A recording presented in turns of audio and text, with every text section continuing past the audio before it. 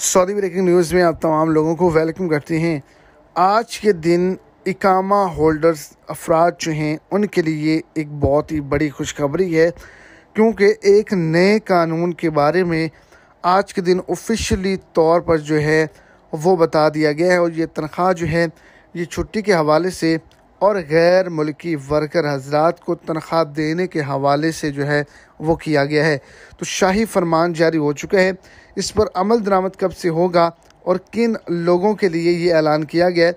Video के तफसीत को जानने के लिए वीडियो को एंड तक देखें ताकि आपको तमाम डिटेल्स की अच्छे से समझ आ सके। और अगर इस चैनल पर फ़र्स्ट टाइम है तो लाजमी से चैनल को सब्सक्राइब करें, वीडियो को लाइक करें और अपने दोस्तों तक इसको ज़्यादा से ज़्यादा शेयर करें। तो पहले नंबर पर आपको बताता चलूँ कि तनख्वाह की बड़ी खुशखबरी है। वीकली आपको सैलरी जो है वो सऊदी अरेबिया के अंदर अब मिलना शुरू होगी यकम अक्टूबर से, और ये ऐलान जो है हर गैर मुल्की वर्कर हजरात के लिए किया गया है, और इस बात को अनाउंस कर दिया गया है, इस पर अमल दरामद भी शुरू हो जाएगा।